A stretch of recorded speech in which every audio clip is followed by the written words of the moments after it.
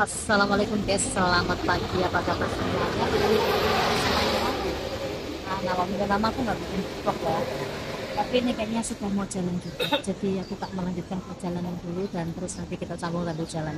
Ayo mbak, jalan dulu ya. Ya guys, kita lanjutkan lagi perjalanan kita dan kita sekalian berbincang-bincang membahas yang lagi viral seputar TKW. Ya sebenarnya ya saya sendiri juga TKW, tapi aku mendengarkan ini ya sebenarnya agak agak gimana ya, agak pengen ngomong karena ini juga untuk uh, semua teman-teman saya anak rantau ya. Jadi gini guys, ini kabar beritanya itu saya mendengarkan uh, berita ya toh. Ceritanya Cece itu uh, sebut saja Mbak Cinta ya Mbak Cinta itu sudah ek Hong Kong ya kan? Mbak Cinta sudah ek Hong Kong bekerja dengan majikan baru ya kan? Dengan majikan baru. Nah kemungkinan Mbak Cinta itu tadi tuh nggak seberapa serak sama majikan dan dia nggak happy kerja di situ gitu kan? Cuman kan e, Mbak Cinta ini mungkin sudah berpengalaman ya saya juga nggak tahu. Tapi yang pasti e, belajar dari mungkin belajar dari teman-teman yang sudah pengalaman atau bagaimana tapi yang pasti Mbak Cinta tadi tuh punya trik kayak gini. Karena kalau dia notice dia nggak punya hak apa-apa dan kalaupun dia ngebreak itu apalagi ya kan? Jadi Mbak Cinta itu di situ sengaja kerja di rumah majikan itu tadi itu dengan gayanya sendiri dengan maunya sendiri. Itu kalau disuruh majikan itu nganu guys megawen itu gedor gedor gedor gedor. Megawen gobrok gobrok gobrok gobrok megawen sak gileme ngono kuwi. Itu bertujuan itu sebenarnya biar Mbak Cinta itu diinterminit sama majikan nih tapi dilalai majikan saya iki yo pinter. Yo majikan ki yo luwih cerdas. Majikan ki yo luwih berwenang.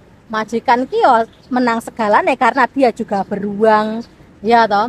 Jadi gini guys Mbak Cinta tadi tuh nggak diinterminit juga nggak dikeluarin dari rumah juga tidak ada tindakan apa-apa tapi majikannya Mbak Cinta itu langsung telepon Pak D ataupun Pak Polisi dengan laporan Mbak Cinta itu merusakkan barang-barang yang ada di rumah majikan. Nah, itu kan jatuhnya sudah talking ya, guys ya. Jadi, setelah Mbak Cinta itu didatengin polisi ke rumahnya Bose, ya ta? Itu itu langsung ditumpak di mobil dan digawa neng kantore, kan? Nah, di situ tuh nggak ada kelanjutan nih. Kayak si bos itu kayak melanjutkan eh, kasus ini bagaimana, terus ke depannya itu kasusnya mau diapain apa mau di interminate ataupun mau di backlist maupun di apa itu nggak ada uh, usut punya usut di, di, diurus kayak gitu tuh masalahnya nggak ada jadi Mbak Cinta ini posisinya sekarang itu ngan ngendok di rumah Pak D. Ya loh jadi nggak ada keputusan gimana kelanjutan kasusnya dia itu. Jadi sekarang Mbak Cinta itu terlunta-lunta dek rumahnya Pak D. Jadi iki lebih berbahaya ya guys ya. Karena tujuannya pengen diinterminit karena dia pengen mendapatkan hak-haknya dia tapi alhasil tidak sesuai dengan keinginan dia ataupun harapan dia. Jadi sekarang majikan tuh jauh lebih pinter juga lah ya. Jadinya ngati-ngati lah konco-konco yo. Ya memang wis nggak seneng utawane wis nggak seret ngono ki yo karuan piye ya saiki ki medali lah ada yang ngomong ngebreak ya ada langsung metu kena duit.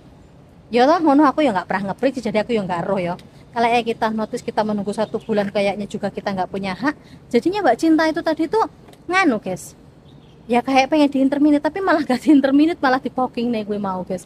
Jadi malas banget ya buat konco-konco wes pokoknya ngerjain ngati-ngati.